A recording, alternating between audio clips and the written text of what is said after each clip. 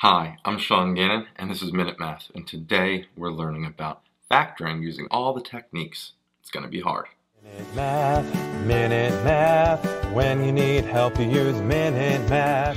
We're given this problem right here, x to the 6th minus 26 x to the third power minus 27, and we got to factor this.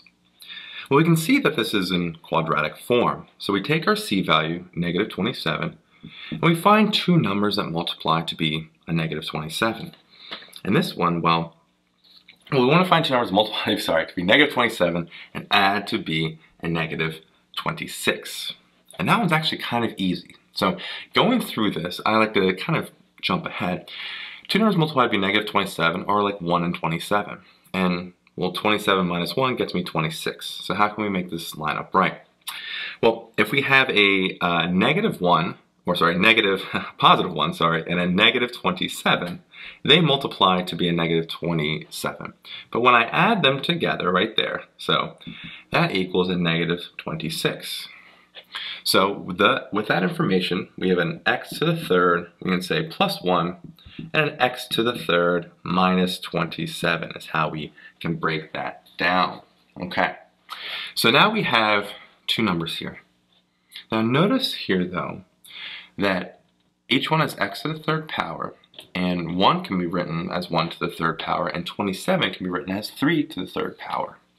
And so with that information, we can use the sum and difference of cubes. Keeps on going. So if you remember the sum of cube formulas are base value x and a base value 1 here, this first part will break down to be, using the formula, x plus 1 times an x squared minus x times 1, which is just an x, and plus 1 squared, which is 1. We can do the same thing with the second part. Each one's a cube, right? 27 is 3 cubed. So using the difference of cubes formula, slightly different, x minus 3 here, times, well, x squared, plus 3 times x, so 3x, and then plus 3 squared, which is 9. All right. Now, can this factor any more? And I'm looking, looking, looking, and that is a no. And so our final answer here is x plus 1 times x squared minus x plus 1 times x minus 3 times x squared plus 3x plus 9. I hope this video was helpful for you, and if it was, please subscribe to this YouTube channel and like this video. This helps us make more free math lessons for you and for everyone else. So as always, thanks for watching.